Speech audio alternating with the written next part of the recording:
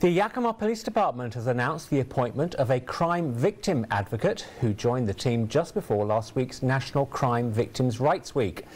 Anna Olson describes herself as a mom, a wife, an advocate and a 15-year survivor of domestic violence who grew up on the Bloodhead Reservation and spent time in Montana before moving to the Lower Valley in 2021, spending 10 years in the Tri-Cities. The YPD released this statement from Miss Olson. My background and passion have always lied in victim advocacy, especially focusing on human trafficking and the missing and murdered Indigenous women epidemic.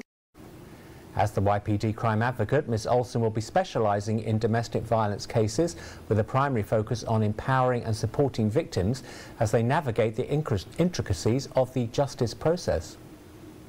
If you're experiencing abuse, know that you're not alone, and there are people here to help you. From helping you understand your rights to connecting you with emergency shelters, I'm here to guide you every step of the way. For assistance with any area of crime victim support, Anna Olson can be contacted at the Yakima Police Department.